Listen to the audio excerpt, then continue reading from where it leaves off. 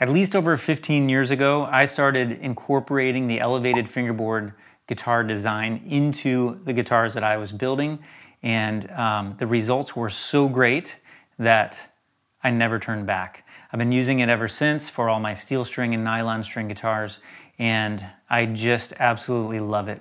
It produces benefits in the playability, the sound, and all kinds of other aspects of the guitar, including a lot of problems that I was facing when I was building a more traditional type of neck joint.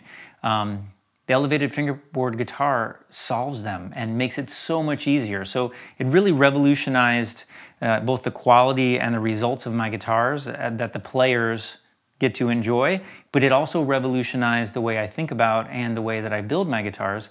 And really, it reduced a lot of stress for me too.